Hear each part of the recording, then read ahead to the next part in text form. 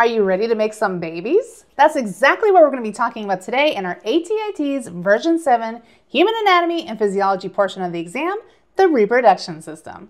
Let's get started. So what is the reproductive system? This system encompasses the primary internal reproductive organs known as the gonads, which are our testes and our ovaries. They produce various sex hormones and gametes, including sperm and eggs. Additionally, it involves glands, ducts, external genitalia, and specific areas of the brain that support the functions of the gonads and the gametes. The whole foundational purpose of these components is to facilitate mating, the combination of genetic material and reproduction. For our Life and Physical Science series, you might remember that gametes are haploid cells produced through meiosis, unlike the rest of the body's diploid cells that result from mitosis. We've discussed this process extensively in that video, so please feel free to revisit the TEAS Life and Science Comprehensive Review. But to summarize, in human reproduction, males produce sperm cells and females produce egg cells, both are a different type of gametes. When these gametes unite during sexual intercourse, the process of fertilization occurs. This fusion forms a zygote, which embarks on a journey of embryonic development, eventually leading to the birth of a new human being. Given that the reproductive system of males and females exhibits significant differences, it's most effective to study them independently. Let's begin by exploring the male reproductive system. As we previously mentioned, the primary reproductive organ in males is the testes, which produce testosterone. The testes, epididymis, and the lower part of the spermatic cord are located within a skin pouch known as the scrotum. This pouch is separated into two compartments by a central divider called the septum. The testes is also the site of sperm production.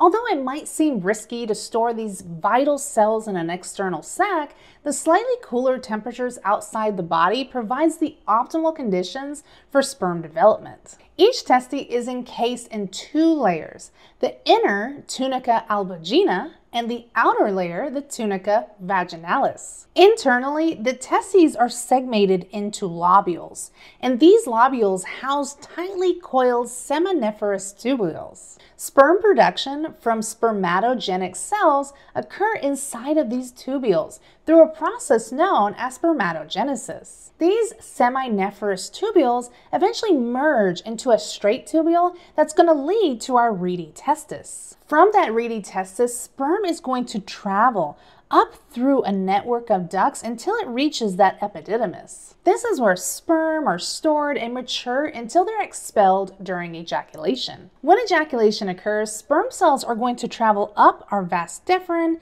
and it's going to go into our ejaculatory duct. Eventually, it's going to enter into the urethra, which is the final channel for urine in the urinary system. This route enables sperm to exit the body through the penis, which is a copulatory organ designed to deliver sperm into the female reproductive tract. Along with the scrotum, the penis forms the external genitalia of the male. In addition to the gonads and external genitalia, the male reproductive system includes accessory glands, such as the seminal glands, the prostate, and the bulbourethral gland. Seminal vesicles are glands that are located on the surface of the bladder and secrete a fluid known as semen. It's really important to note that semen does not contain sperm cells. Instead, it mixes with sperm cells during ejaculation in the ejaculatory duct. Sperm plays a crucial role in enhancing sperm motility and fertilizing ability by providing a nutrient-rich medium that suppresses the immune response in the female reproductive tract. It ultimately destroys bacteria and aids sperm in adhering to the walls of the vagina to prevent drainage. Semen comprises the bulk of the ejaculate by volume. Next up, we have the prostate gland, and the prostate gland is positioned around the urethra near the bladder. The prostate's function is to contract during ejaculation, pushing the secretions into the urethra to mix with the ejaculate. These secretions help activate the sperm to increase fertility. And lastly, we have our bulbourethral glands, and they're located near the prostate. These glands produce mucus that are going to lubricate the glans penis, which is the tip of the penis during sexual arousal, facilitating smoother penetration and enhancing sexual intercourse comfort. Next up, let's explore the female reproduction system, which involves a more complex arrangement. Starting off with the female gonads known as the ovaries, they are responsible for producing the female gamete or egg cells known as ova,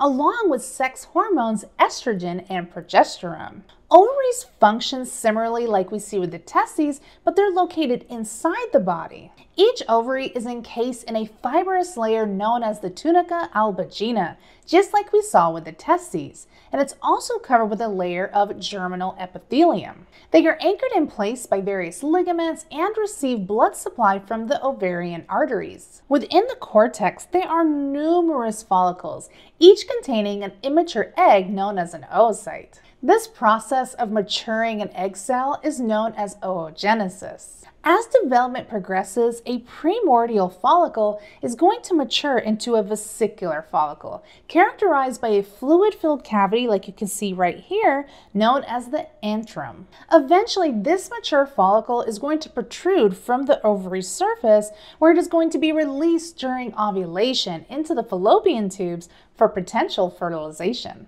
After ovulation, that released oocyte is going to release into our fallopian tubes. Fertilization typically occurs within the fallopian tubes before the egg continues its journey down into our uterus, commonly referred to as the womb. In the uterus, the fertilized egg is going to embed itself into the uterine wall, where it remains and develops throughout the pregnancy. The cervical canal is going to lead down into the vagina, which is the female copulatory organ. The vagina is designed to receive the penis during sexual intercourse and also serves as the passageway for childbirth. In anatomical females, the external genitalia area is known as the vulva, and it comprises of several distinct parts. First up, we have the mons pubis, and this is the fatty area that sits above the pelvic bone, providing cushion and protection. It also becomes covered with pubic hair after a female reaches puberty. And then in blue, we have the labia majora, which is the outer larger skin folds that protect the internal structures of the vulva.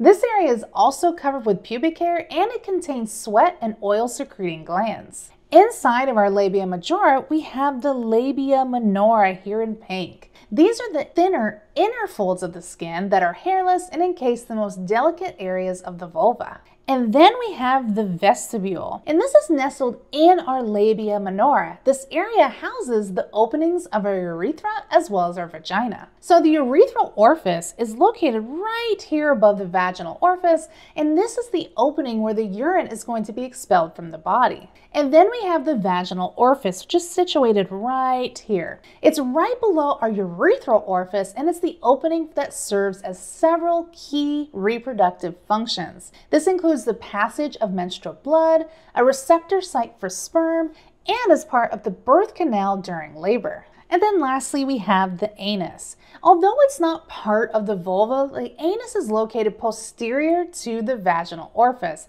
and is the exit point for fecal matter from the body. Each one of these components are crucial for the reproductive and excretory functions of the female body, as well as providing protection against external irritants and infections. The endocrine system and reproductive system are intricately linked through the action of hormones, which regulate both the development and function of the reproductive organs. Hormones like estrogen, testosterone, and progesterone play a critical role in sexual reproduction, fertility, and pregnancy. In the brain, the hypothalamus pituitary region acts as a central command overseeing the endocrine system. The pituitary gland is divided into two parts.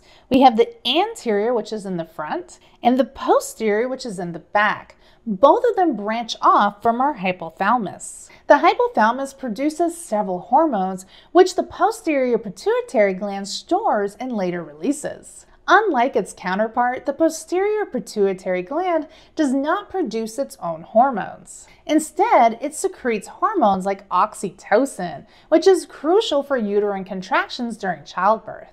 The anterior pituitary gland, however, is a hormone powerhouse. It's capable of producing its own hormones while still being tightly regulated by that hypothalamus. Some of its key hormones when it comes to the reproductive system include prolactin, which stimulates milk production in the mammary glands. And there's also the follicle stimulating hormone, which stimulates the formation of the ova and sperm. And then last up, we have the luteinizing hormone, which produces ovulation and androgens respectively. And lastly, as we discussed, the gonads are going to produce several important hormones. The ovaries produce estrogen, which primarily promotes the growth of the uterine lining and the development of female secondary sex characteristics. Additionally, the ovaries produce progesterone, which not only supports but also maintains our uterine lining growth and plays a vital role in fetal development during pregnancy.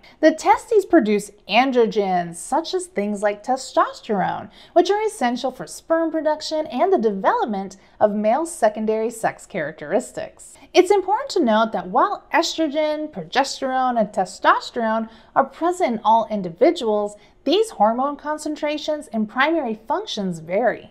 Typically, estrogen and progesterone are found in higher levels and play more significant roles in females, whereas androgens like testosterone are more concentrated and predominantly function in males. I hope that this video was helpful in understanding everything you're going to need to know to make them babies. As always, if you have any questions, make sure that you leave them down below. I love answering your questions. Head over to nursecheungstore.com. There's a ton of additional resources in order to help you ace those ATI TEAS exams. And as always, I'm going to catch you in the next video.